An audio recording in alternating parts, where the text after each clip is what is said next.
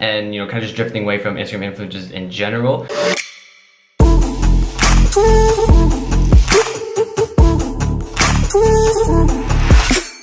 What is up guys, my name is Thaddeus. Welcome to today's video. We're gonna be talking about why I'm actually slowly moving away from Instagram influencer ads as one of my very, very, uh, you know, primary marketing strategies um, and kind of, you know, moving more towards Facebook ads as you know the primary method and you know kind of just drifting away from Instagram influencers in general especially for the startup. Um, there's a bunch of reasons guys Instagram influencers still work don't get me wrong. I'm just gonna explain my thought process behind kind of like the switch um, and all that. So basically before we get started guys for those of you in the course there is another video that has gone live today. Um, you know I'm keeping up with you know every YouTube video. There's a new video in the course. So Let's get it. Um, I think it's something about trends. I haven't decided which one, you know, at the time of recording, which one's gonna go live, but that's that, guys. If you're interested, link in bio. Now, for the video, why am I stopping or why am I kind of moving away from Instagram influencers? One, Facebook updated their privacy policies, right? And the biggest thing that I noticed, right, is with, with, with Instagram is that a lot of these uh, third-party analytic companies, right, Social Blade, a lot of these companies that track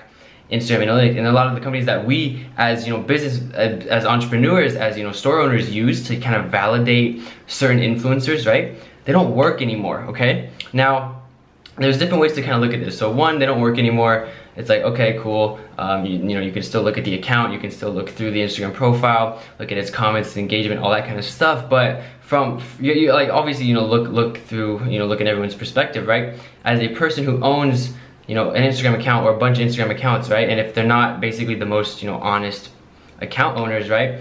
They have a very, very good opportunity now to buy a bunch of followers, okay? And charge you an extraordinarily large amount for a shout out that isn't worth it, okay? So that that's rule number one is just with Instagram's privacy policy, right? There's there's certain, you know, features that, you know, these third party companies are having a hard time tracking. Okay, a lot of that is, you know, follower growth, daily followers, um, a lot of that kind of stuff that, that we just can't see now, right? In the future that could change. Okay, that could absolutely change. It's just a matter of kind of just, I guess, Facebook figuring it out. But as of now, guys, there's a lot of companies that can't track Instagram accounts, which makes it very, very easy for people to buy followers um, for, for their for their for their pages, right? And not be able to actually see that oh, you know, they grew you know 20,000 followers in one day. How'd that happen? Um, stuff like that, or oh, they they grew 300k followers in one day. Like you don't see that. Okay, you just go to their page and see, oh, they have 1.5 million followers, or oh, they have 800k followers when before they only had 300k, right? They, they can charge you a lot more, and as an entrepreneur, especially a lot of you guys as beginners, right, starting out, that's a problem, okay? A lot of you guys are on a budget. A lot of you guys, you know, don't have a, a, bunch of money to spend right off the bat, okay? And even if you do, you don't want to be wasting it, okay? You don't want to be giving someone more money than, you know, their account is worth, okay? So that's rule number one. Number two, guys, Facebook cold traffic, if if you use certain strategies, it's, it's, it's, it's, I mean, the, the easiest way to say beautiful, um, it's, it's cool, okay? I'll let me, let me explain that, right? Obviously, it's terrible word choice. Um, basically with cold traffic, right? Again, drop shipping, um, you know, getting conversions, it's, it's a numbers game and ultimately it just goes down to sales. Like, what are you doing? Is it equating to sales, right? A lot of people, like, they look at conversions, they look at all these numbers and yes, they're important, but the bottom line, okay? Bottom line is what are you doing marketing wise? How many sales are you getting, okay? Now, what, what does that mean? Well, with cold traffic, right?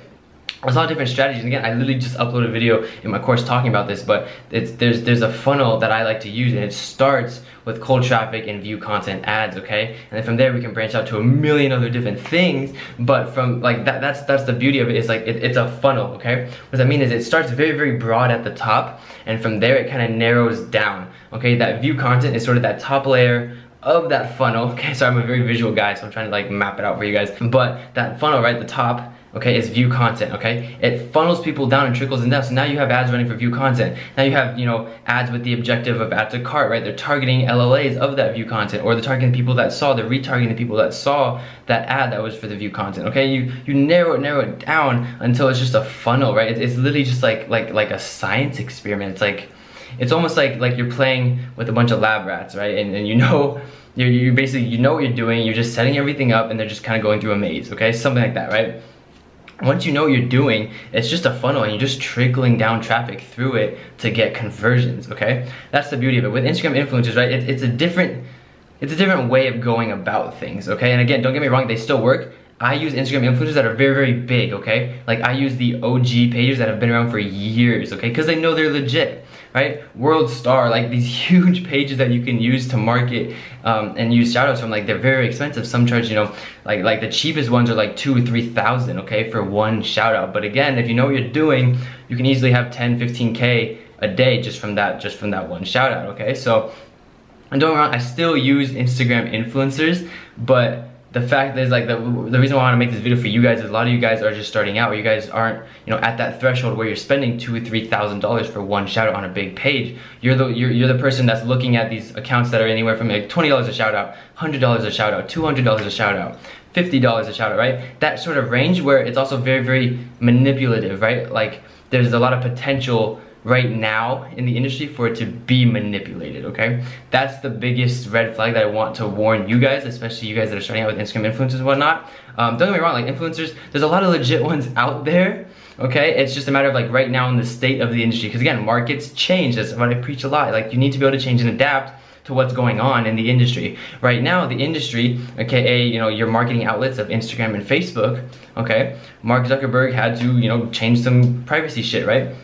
What does that mean for us? Well, it means all that all these third-party tracking companies can't like track these Instagram accounts. So these Instagram accounts now are able to buy followers without anyone being able to detect it, okay? Unless you were already monitoring their pages, right? Like you personally wrote down how many followers they had and then the next day checking they had 50,000 more, okay? There's no way to really check that, okay? Then from there, they're charging you more for a shout out that's really not gonna do anything because they're just increasing because of their follow count, but those are all bots. They don't do anything right? So that's that's my kind of input and two cents as to why I'm right now not using Instagram influencers as much, okay? Just the big pages. Now, for those of you starting out, right, I would be very, very wary of using Instagram shoutouts. Again, if, you, if you've if you've used the accounts before and know they work, know they at least generate you traffic and get sales, then there's not really an issue in that, alright? And it helps you grow your brand and grow your Instagram, grow your social media accounts and those outlets so that you can use those for marketing, sponsored posts, retargeting, all that stuff later down the road, which is good. So you shouldn't just ditch Instagram influencers after watching this video, guys. Don't, don't do that, okay? I'm just saying be wary, guys. Keep a lookout and be smart with your money, okay? So that's really my main reason as to why I'm not using Instagram influencers right now um, that heavily and I'm just going into Facebook a lot more okay so that's the video guys leave a like if you enjoyed don't forget to comment I respond to everybody's comments don't forget to subscribe guys we are doing basically a video a day or every other day and I will see you guys in the next one. Take care, guys. If you guys are in the course, remember this new video. If not, if you're interested, link is in the bio as well as everything else in my social medias and all that fun stuff. So take care, guys. I'll see you in the next one. Take care. Peace.